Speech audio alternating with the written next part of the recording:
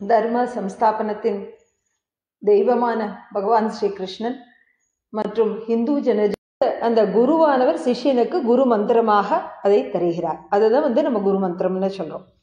இந்த குரு மந்திரத்தினுடைய பலன் என்னன்னா ஒரு பக்கம் சிஷ்யனுடைய ஆன்மீக முன்னேற்றம் நடப்பதோடு கூட அவனுக்கு மோட்ச பிராப்தியையும் அளிக்க வல்லது இந்த குரு மந்திரம். அந்த குரு மந்திரத்தில் எந்த தெய்வத்தினுடைய நாம ஜபம் உள்ளதோ அந்த தெய்வ தத்துவம் தான் அந்த சிஷ்யனுக்கு மிகவும் தேவையான ஒன்று. அதற்கு தகுந்தா தகுந்தாற்படி தான் அந்த குரு வந்து அவனுக்கு அந்த ஒரு குறிப்பிட்ட இறைவனுடைய நாம ஜபத்தை குரு மந்திரமாக வழங்குகிறார். இதை பற்றி என்ன ஒரு ஸ்லோகம் இருக்குன்னா குருமந்திரோ முகேயசிய தஸ்ய சித்தினா அந்யதா குருலாபா சர்வலாபோ குரு ஹின்ஸ்து பாலிஷா.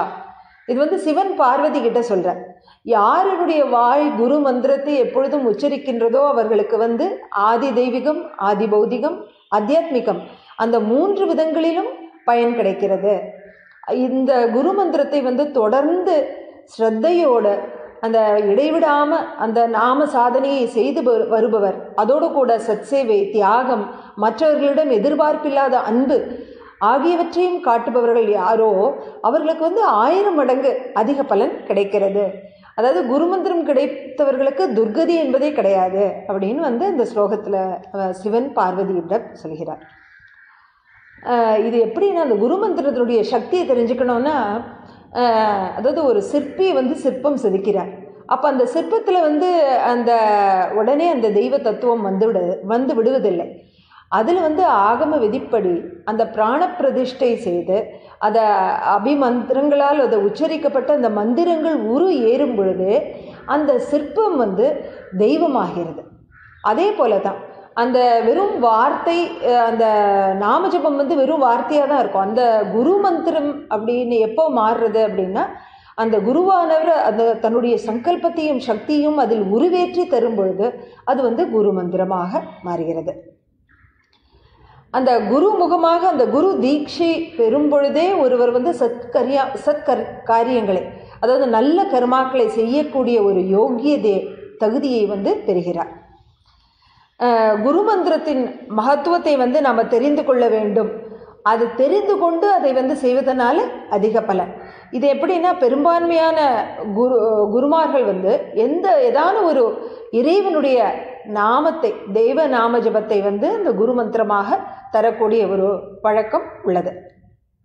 இதில் இன்னொரு முக்கியமான விஷயம் வந்து நம்ம மனதிற்கு இஷ்ட தெய்வத்தினுடைய நாமஜபம் செய்வது சிறந்ததா அல்லது குரு மந்திரத்தை நாமஜபம் செய்வது சிறந்ததா?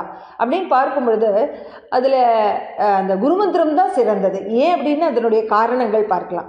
அதாவது நமக்கு எந்த தெய்வத்தினுடைய தத்துவம் நமக்கு தேவை எந்த தெய்வ நாமஜபம் நம்ம செய்தால் நம்ம ஆன்மீக முன்னேற்றம் விரைவில் நடக்கும் என்பது நமக்கு தெரியாது.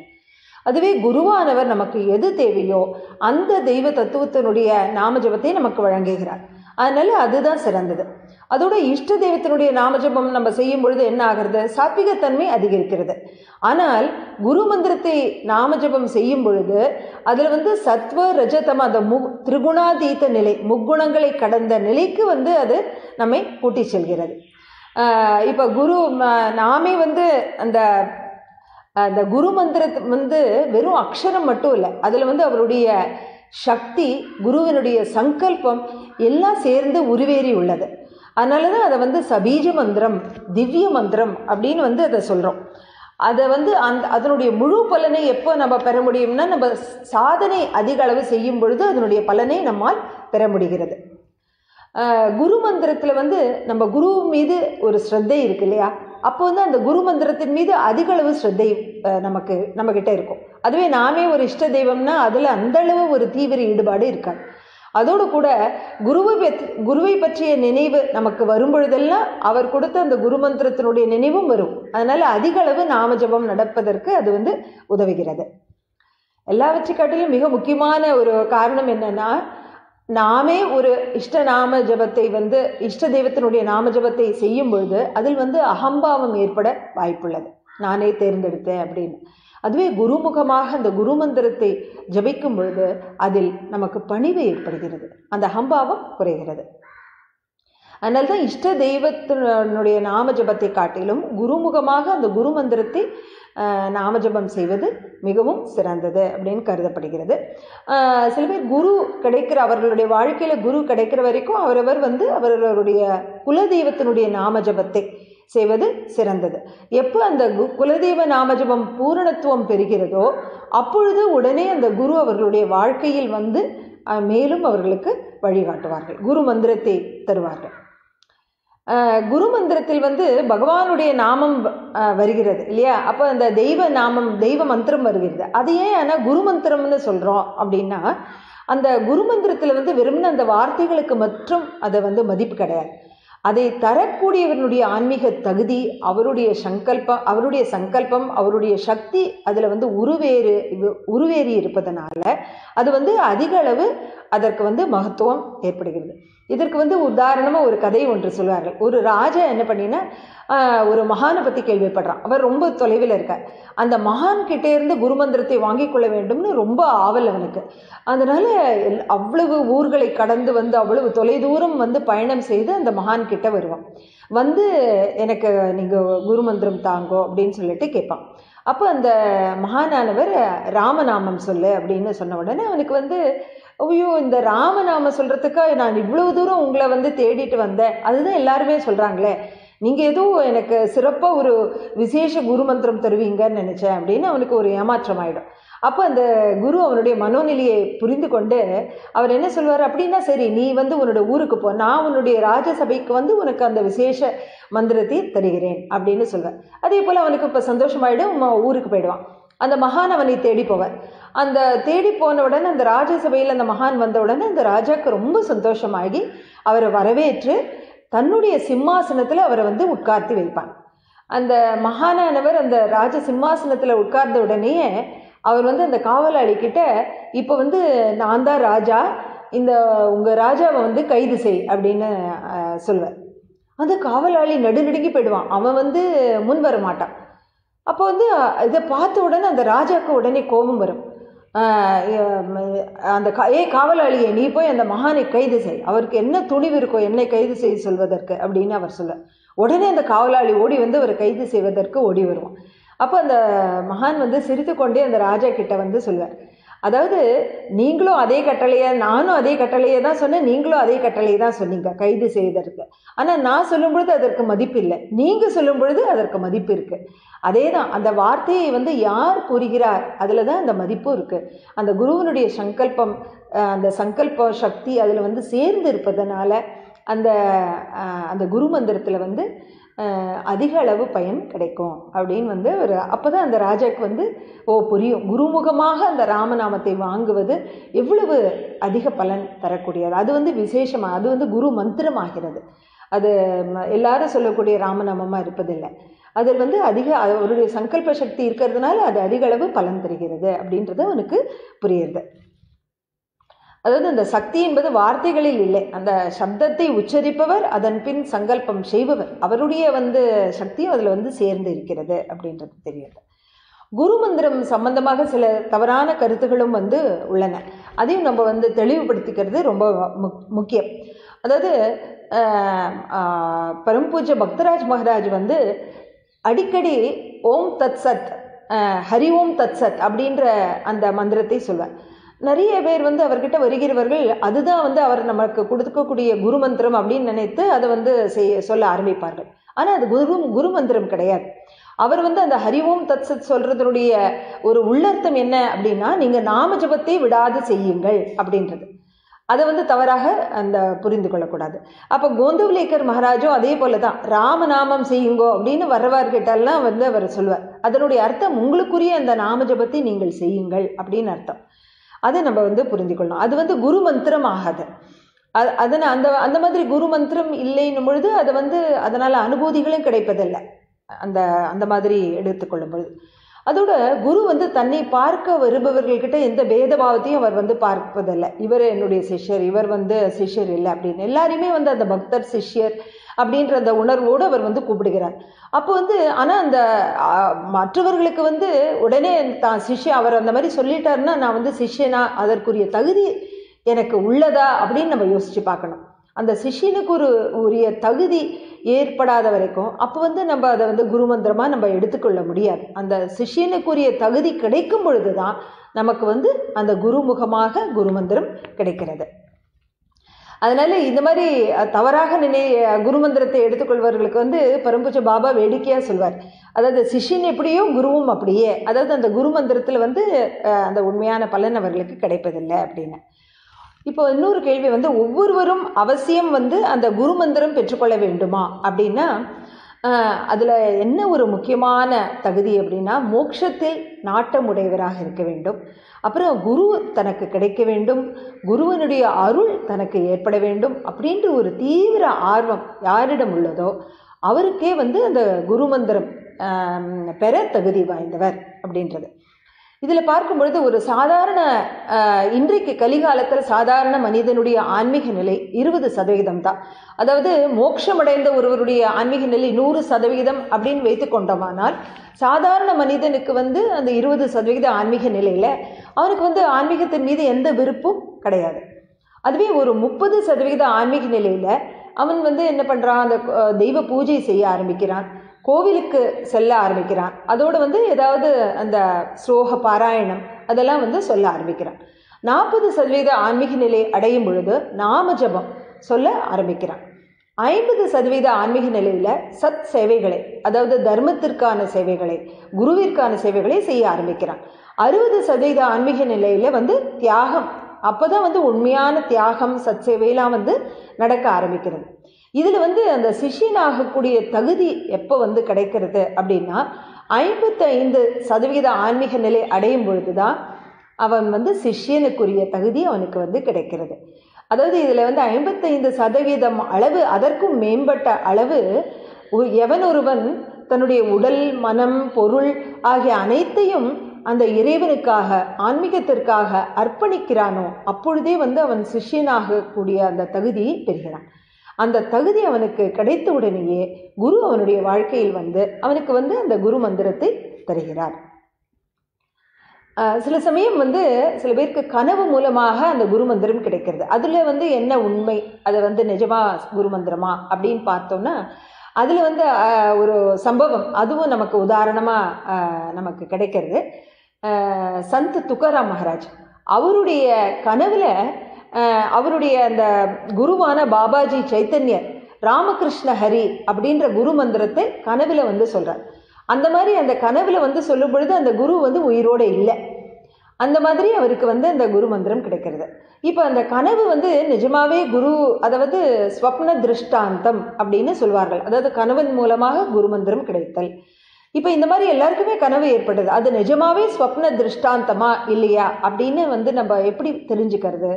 அதில் இரண்டு நிலைகள் உள்ள ஒன்று வந்து மன அளவிலான நிலை. அது வந்து என்னென்னா மனதில் மிக ஆழப்பதிந்த ஏதாவது ஒரு எண்ண ஓட்டம் அது கனவாக வெளிப்படுகிறது. அது வந்து ஸ்வப்ன திருஷ்டாந்தம் ஆகாது.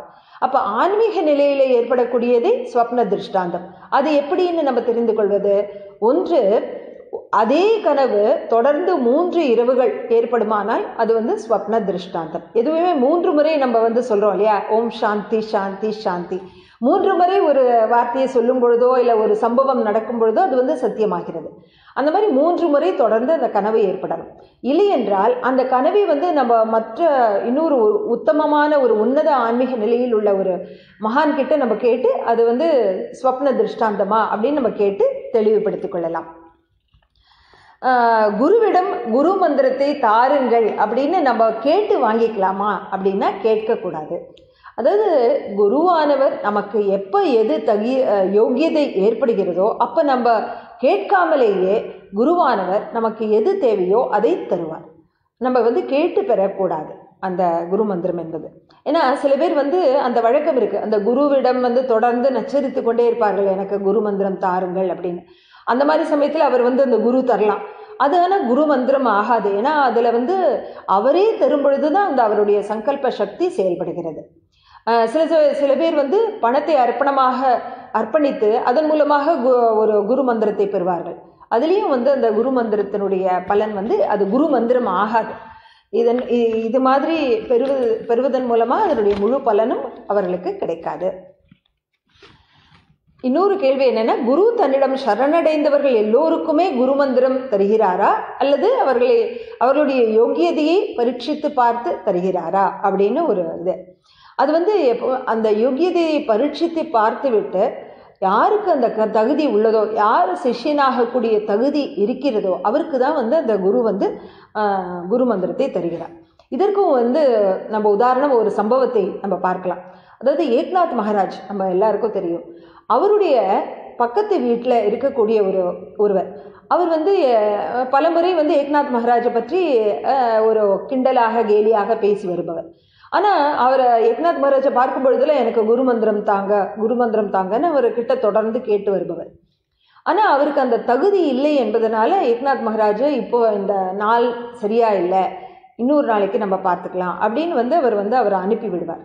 இது மாதிரி தொடர்ந்து ஒரு இரண்டு வருடங்களுக்கு பிறகு அவர் வந்து திரும்ப வந்து எனக்கு நீங்கள் கட்டாயம் குரு மந்திரம் தரணும் அப்படின்னு அவர் ஏக்நாத் மகாராஜ் கிட்ட கேட்கும் பொழுது ஏக்நாத் மகாராஜ் என்ன சொல்கிறார் மறுநாள் காலையில் எட்டு மணிக்கு நீ வா அப்போ நான் தரேன் அப்படின்னு அவர் வந்து சொல்கிறார் மறுநாளைக்கு காலையில் இவர் வந்து குளித்து முடித்து எல்லா புத்தாடைகள்லாம் உடுத்தி கொண்டு அங்கே போய் அந்த ஏக்நாத் மகாராஜ் வீட்டு வாசலில் திண்ணையில் போயிட்டு நல்லா ஆறாமல் உட்காந்துடுறார் விஸ்ராந்தியாக நல்லா சம்மணமிட்டு உட்காந்துடுறார் அப்புறம் அப்போ முந்தின நாளே அவர் ஏக்நாத் மகாராஜ் வந்து ஏற்பாடு பண்ணி வச்சிருப்பார். அதாவது பூஜைக்குரிய எல்லா ஏற்பாடுகளையும் செய்து விடுங்கள் ஆனால் தண்ணீர் மட்டும் வைக்காதீர்கள் அப்படின்னு.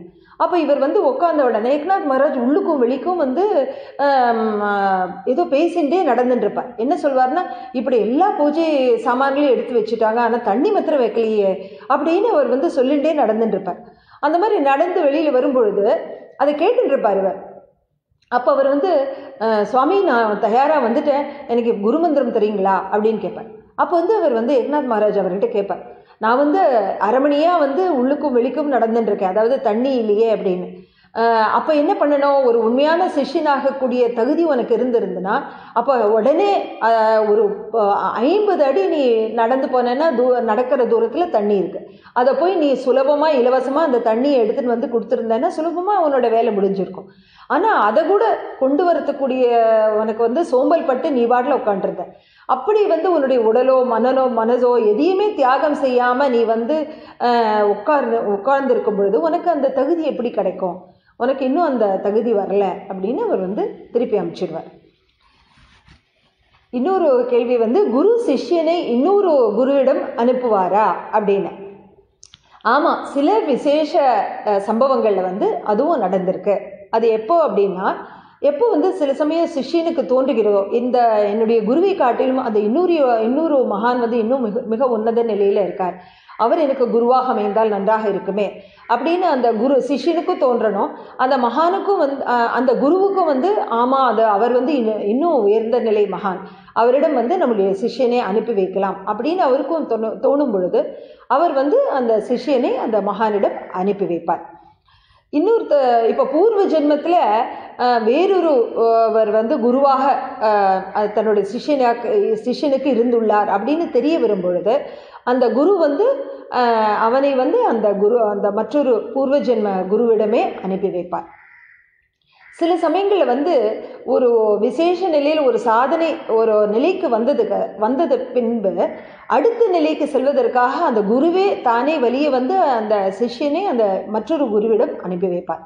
இது எப்போ நடந்ததுன்னா பரம்பூஜை அண்ணா கரந்திக்கர்னு ஒரு மகான். அவரிடம் வந்து ஒரு வருட காலம் அவர் சொன்ன சாதனையை வந்து நம்முடைய சனாதன் சன்ஸ்தா ஸ்தாபகரான பிராத்பர் குரு டாக்டர் ஜெயந்த் ஆட்- ஆட்டவலே அவர் வந்து செய்து வந்தார். அதன் பிறகு வந்து அந்த பரம்பூஜை அண்ணா கரந்திக்கர் என்ன சொன்னார்னா நீ இனிமே வந்து அந்த இந்தூரில் இருக்கக்கூடிய பரம்பூஜை பக்தராஜ் மகாராஜ் அவர் தான் உன்னுடைய குரு இனிமே. அவருடைய கால்களை கெட்டியாக பிடிச்சிக்கோ அப்படின்னு வந்து அவரை வந்து வழி அனுப்பி வைக்கிறார். அதோட இன்னொரு காரணம் என்னென்னா சிஷ்யனுடைய ஆன்மீக முன்னேற்றத்தினுடைய கதி வந்து கதியும் அந்த குருவினுடைய ஆன்மீக முன்னேற்ற கதியும் ஒரே சமநிலையில் இருந்ததுன்னா அந்த சி குரு சிஷ்ய உறவு தொடர்ந்து நீடிக்கும். ஆனால் அந்த சிஷ்யனுடைய ஆன்மீக முன்னேற்றம் விரைவில் ஏற்பட்ட அதாவது குருவை காட்டிலும் அதிக அளவு விரைவாக ஏற்படும் பொழுது அந்த குரு வந்து அந்த சிஷ்யனை இன்னொரு சத்குருவிடம் அனுப்பி வைக்கிறார். இப்போ குரு சம்பந்தமாக இன்னொரு கேள்வி குரு சமாதி அடைந்த பின்பும் அந்த குரு மந்திரம் சக்தி உடையதாக இருக்குமா? அப்படின்னு. அதாவது குரு வந்து தானே உள்ளிருந்து அந்த ஊக்கம் பெற்று அந்த ஒரு மந்திரத்தை அவருக்கு உபதேசிக்கிறார். அந்த அந்த மாதிரி இருக்கும் பொழுது அதில் அவருடைய அந்த சங்கல்ப சக்தி இருக்குன்றது தெரியும். அதனால் அந்த அதோடு அதோட அந்த குரு மந்திரத்தை வந்து அவர் தொடர்ந்து நாமஜபம் சாதனை செய்து வர வேண்டும்.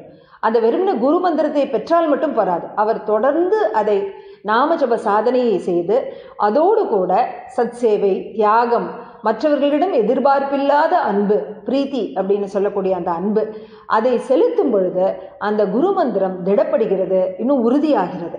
அந்த மாதிரி சமயத்தில் அந்த குரு தேக தியாகம் செய்த பிறகும் அந்த குரு மந்திரத்தினுடைய சக்தி வந்து நீடிக்கிறது. இப்போ குரு மந்திரத்தை வந்து எங்கு ஜபம் செய்ய வேண்டும் அப்படின்னு வந்து பார்த்தோம்னா அந்த குரு மந்திரம் வந்து கர்ம காண்டத்தை சே சேர்ந்ததல்ல. அது வந்து பக்தி மார்க்கத்தை சேர்ந்தது. அதனால் அதற்கு வந்து இப்போ இறைவன் வந்து எல்லா இடங்களிலும் எல்லா காலங்களிலும் எங்கும் நீக்கமர நிறைந்துள்ளான் அப்படின்றதுனால அந்த அவனுடைய அந்த நாம ஜபத்திற்கும் அந்த கால இட வரையறை எதுவுமே இல்லை. அதோடு கூட அந்த மாத தீட்டு பிறப்பு இறப்பு தீட்டு போன்ற எதுவுமே அதற்கு கிடையாது. அதனால் ஆனால் சில சமயங்கள் குருவே சில கட்டுப்பாடுகளை விதித்திருந்தால் அப்போ அந்த கட்டுப்பாடுகளை நாம் வந்து அவசியம் கடைபிடிக்க வேண்டும். பல நேரங்களில் வந்து குரு மந்திரத்தை ரகசியமாக வைத்திருக்க வேண்டும் அப்படின்னு சொல்லப்படுகிறது. அதனுடைய தாற்பயம் என்ன? ஏன் ரகசியமாக வைக்க வேண்டும் அப்படின்னு. அதாவது அந்த சாதகனுக்குரிய அவசியத்தை ஏற்றவாறு அந்த குரு வந்து மந்திரத்தை தருகிறார். அப்போ அவருடைய சக்தி அந்த சங்கல்பம் எல்லாம் இருக்கிறதுனால அது வந்து அவனுக்கு பலன் கிடைக்கிறது. அதுவே அந்த சாதகர் இன்னொரு இன்னொருத்தருக்கு வந்து அதே மந்திரத்தை சொல்லும் பொழுது அந்த சாதகர்கிட்ட அந்த அளவு சாதனா பலம் இல்லாததுனால அந்த குரு மந்திரத்தை சொல்லும் பொழுதும் அவருக்கு வந்து அந்த அளவு பலன் கிடைப்பதில்லை. அதனால விகல்பம் ஏற்க ஏற்படக்கூடிய ஒரு பலனும் ஏற்படுகிறது. அதுவும் இல்லாமல் எந்த விஷயத்தையும் நம்ம ரகசியமாக வைத்திருக்க வேண்டும் அப்படின்னும் பொழுது தான் அதை பற்றின நினைவு நமக்கு அடிக்கடி தோன்றும். அப்போ அதிக அளவு நமக்கு வந்து அந்த குருமந்திர நாமஜபம் வந்து நடக்கும்.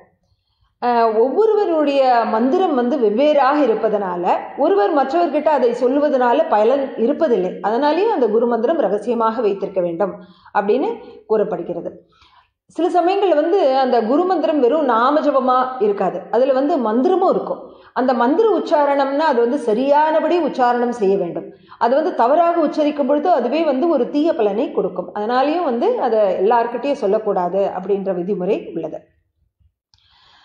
ஆனால் இந்த நியமம் வந்து ஒரே குருவையுடைய அந்த குரு பந்துக்களாக இருக்கக்கூடிய அந்த சாதகர்களுக்கு கிடையாது. ஏன்னா அவர்கள் வந்து தங்களுக்குள்ள பரஸ்பரம் கற்றுக்கொள்ள ஒருத்தருக்கொருத்தர் ஒருத்தருக்கு ஒருத்தர் செய்ய செய்து கொண்டு பரஸ்பரம் அந்த ஆலோசனைகளை வந்து பகிர்ந்து கொண்டு அவர்கள் வந்து கற்றுக்கொள்வார்கள். அதனால் அவர்களுக்கு வந்து இந்த நியமம் கிடையாது. ஆனால் இந்த குரு மந்திரம் மற்றவர்களுக்கு உபதேசிக்கலாமா அப்படின்ற பற்றி ஒரு சுவாரஸ்யமான சம்பவம் இருக்குது ஒரு அந்த ர- நம்ம எல்லாருக்கும் தெரிஞ்ச விஷயம்தான். ராமானுஜாச்சாரியார் வந்து அவருடைய குரு கோஷ்டி பூர்ணா. அவர் வந்து ஓம் நமோ நாராயணா அப்படின்ற மந்திரத்தை அவருக்கு உபதேசித்து இது வந்து முக்தி அளிக்கக்கூடிய மந்திரம். ஆனால் இதை வந்து ஆனால் நீ மற்றவர்களுக்கு உபதேசிக்க கூடாது அப்படின்ற ஒரு கட்டுப்பாடையும் விதிக்கிறார். ஆனால் ராமா இது ராமானுஜாச்சாரியர் இது அப்பேற்பட்ட உன்னத மந்திரம் முக்தி அளிக்கக்கூடிய மந்திரம் அப்படின்னு தெரிந்த உடனே அவர் என்ன பண்ணுறார் கோபுர உச்சிக்கு சென்று நின்று கொண்டு அங்கிருந்து அந்த ஊர் ஜனங்களை எல்லாம் கூப்பிட்டு அந்த ஓம் நமோ நாராயணா அது முக்தி அளிக்கக்கூடிய மந்திரம் அப்படின்னு எல்லாருக்குமே வந்து அதை உபதேசம் பண்ணுறார் இதை கேட்ட உடனே அந்த அவர் அவருடைய குருவான கோஷ்டி பொன்னாவுக்கு கோபம் வருது.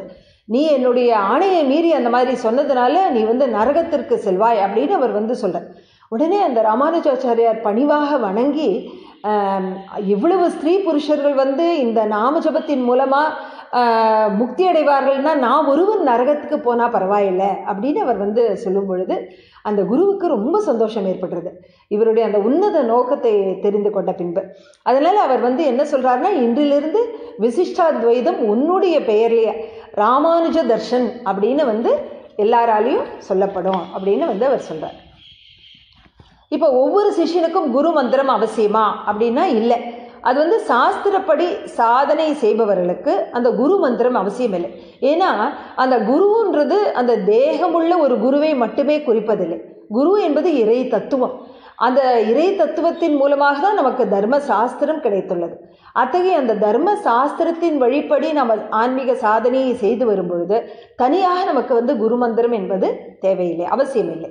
அப்போ வந்து நம்ம எந்த ந தெய்வத்தினுடைய நாம ஜபம் செய்கிறோமோ அந்த தெய்வமே நமக்கு குருவாக இருந்து வழிகாட்டுகிறார். இது எப்படின்னா அந்த அம்மா அப்பா வந்து அந்த குழந்தைங்க மேலே அதீத அன்பு செலுத்துகிறார்கள். ஆனால் அதை வந்து வெளிக்காட்டுவதில்லை. நான் உங்ககிட்ட அன்பு செலுத்துகிறேன் அப்படின்னு சொல்வதில்லை. ஏன்னா அது எல்லாருக்கும் தெரியும். அதே போல தான் அந்த குரு சிஷ்ய உறவும். அந்த குருவனுடைய இருந்தாலும் ஆரம்ப கட்டத்தில் அந்த சிஷ்யனுக்கு வந்து அது தெரியணும் அப்படின்றதுக்காக அவனுக்கு வந்து ஒரு அந்த குரு தன் மீது கவனம் செலுத்துகிறார். குருவினுடைய கிருப்பை எனக்கு கிடைத்துள்ளது அப்படின்ற அந்த விஷயம் அந்த சிஷ்யனுக்கு ஒரு ஆ ஆதாரமாக விளங்கக்கூடும் என்பதற்காக அந்த ஆரம்ப கட்டத்தில் அவர் வந்து குரு மந்திரத்தை அந்த சிஷ்யனுக்கு கொடுக்கிறார். குரு மந்திர மந்திரத்திற்கு ஏதாவது நியமங்கள் உண்டா? அப்படின்னா அதில் முக்கியமாக நம்ம தவிர்க்க வேண்டியது பத்து தோஷங்கள். அதை வந்து பத்து நாம அபராதங்கள் அப்படின்னு சொல்லப்படுகிறது. அதை வந்து நம்ம தவிர்ப்பதற்கு முயற்சி செய்ய வேண்டும். முதலாவது வந்து சத் புருஷர்களின் நிந்தனை. அதாவது மகா புருஷர்கள் பக்தர்களை வந்து நிந்தனை செய்வது. அது மிகப்பெரிய தோஷம். இரண்டாவது சாது இல்லாதவர்கள். அவர்களை பற்றின ஒரு நாம மகிமையை பரப்புதல். அவர்களை பற்றி போற்றி புகழ் பாடுவது. அது ஒரு தோஷம். சிவனுக்கு சிவனை வந்து விஷ்ணுவிடமிருந்து வேறுபடுத்தி பேதப்படுத்தி பார்த்தல். அடுத்தது நாலாவது வந்து விஷ்ணுவை சிவனிடமிருந்து பேதப்படுத்தி பார்த்தல். இதெல்லாம் வந்து மிகப்பெரிய தோஷம். ஐந்தாவது வந்து வேத வாக்கியத்தில் நம்பிக்கை இல்லாமல் இருத்தல். ஆறாவது குரு வாக்கியத்தில் நம்பிக்கை இல்லாமல் இருத்தல். ஆறு ஏழாவது வந்து சாஸ்திரத்தில் நம்பிக்கை இல்லாமல் இருத்தல். எட்டாவது வந்து நாம விஷயத்தில் அர்த்தவாதம் அதாவது வீணான ஒரு வாதம் செய்தல். அண்ட் ஒன்பதாவது வந்து பாவங்களை அழிக்கும் நாமம் என்னிடம் உள்ளது என்ற கர்வத்தால் பாவ காரியங்களை செய்வது புண்ணிய காரியங்களை செய்யாமல் விடுவது இது போன்ற தோஷங்கள். பத்தாவது மற்ற நாமங்களோட மற்ற மதங்களோட பகவானின் நாமத்தை ஒப்பிடுவது. அதனால் இந்த பத்து இது எப்படின்னா அதாவது மருந்து உட்கொள்ளும் பொழுது அந்த வெறும்ன மருந்து உட்கொள்வதால் மட்டுமே வந்து குணமாகாது. அதோடு கூட சில உணவுகளை தவிர்க்க வேண்டும் அப்படின்னு பத்தியம் நமக்கு கூறப்படுகிறது. அந்த பத்தியத்தையும் பின்பற்றும் பொழுது தான் முழு பலன் நமக்கு கிடைக்கிறது. அதே போல தான் குரு மந்திரத்தை ஜெபிப்பதின் மூலம் மட்டுமே வந்து நமக்கு வந்து அந்த பலன் கிடைக்காது. இது போன்ற இந்த நாம அபராதங்களையும் நம்ம வந்து தவிர்க்க வேண்டும். இந்த தோஷங்களை தவிர்த்து பூர்ண பக்தியோடு அந்த குரு மந்திரத்தை ஜெபித்து அதோடு கூட சத்சேவை தியாகம் மற்றவர்களிடம் எதிர்பார்ப்பில்லாத அன்பு இவற்றை அனைத்தையும் செய்து வரும்பொழுது அந்த குரு மந்திரத்தின் பலன் நமக்கு கிடைக்கிறது. இது இது ஒரு முக்கியமான விஷயங்கள். இன்றைக்கு குரு மந்திரத்தை பற்றிய பல முக்கியமான விஷயங்களை இன்று தெரிந்து கொண்டோம். தொடர்ந்து நாளையும் இதே நேரம் ஏழு மணி அளவில் நாம் வந்து தொடர்ந்து இந்த குரு பற்றின பல விஷயங்களை தெரிந்து கொள்ள இருக்கிறோம். மீண்டும் சந்திப்போம். நன்றி வணக்கம்.